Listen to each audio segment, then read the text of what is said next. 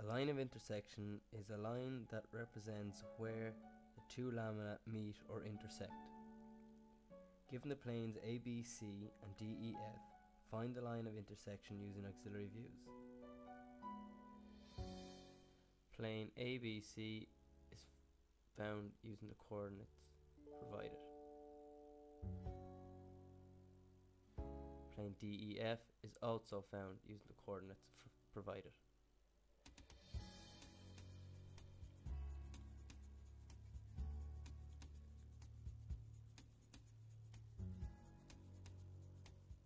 So what is an auxiliary view? An auxiliary view is an extra view which allows you to see something you cannot see in the already given view. To get the line of intersection, we must first see it as an edge view. Therefore, we will use an auxiliary view to view the plane ABC as an edge view. Using a horizontal cutting plane in elevation, it will give us a true length in plan on the plane ABC. It is a true length because a line that is parallel to a plane of reference and the line of sight is perpendicular, the line will be a true length in the projected view.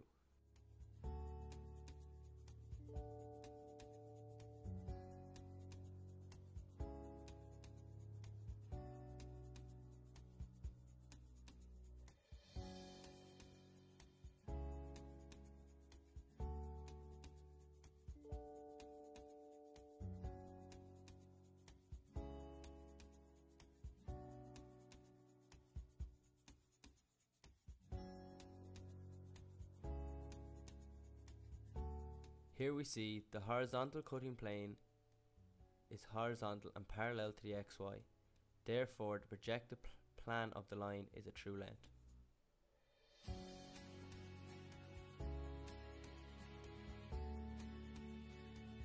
When you look parallel to a true length, it gives you an edge view. Therefore, we will project an auxiliary view looking along our true length. The SOLIDWORKS model shows us an edge view of the plane ABC.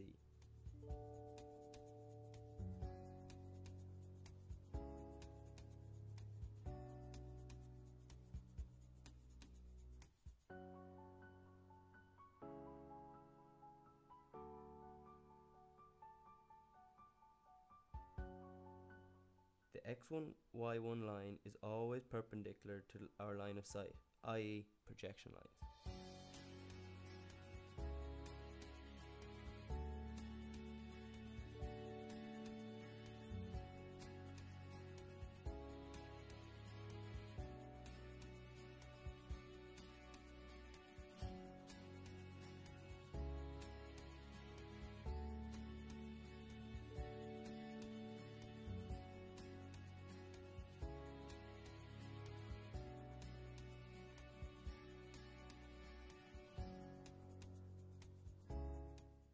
Points are then projected parallel to the line of sight, i.e. our true length.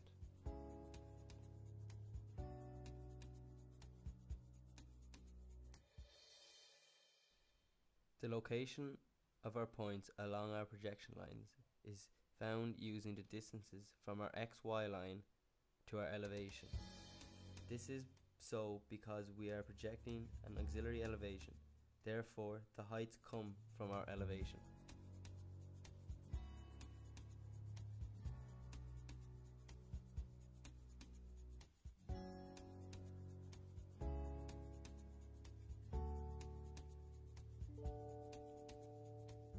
We do this for both planes A, B, C and D, E, F.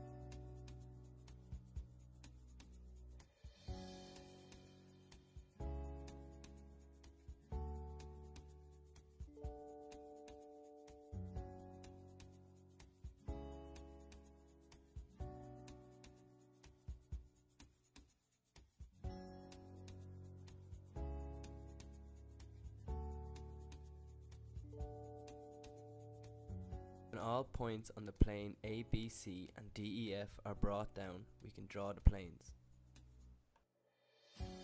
The plane ABC will appear as a line or an edge view in the auxiliary view. Where the plane ABC intersects plane DEF in our auxiliary view gives us two points on our line of intersection. Can then find these points in the plan and elevation by projecting back through the views.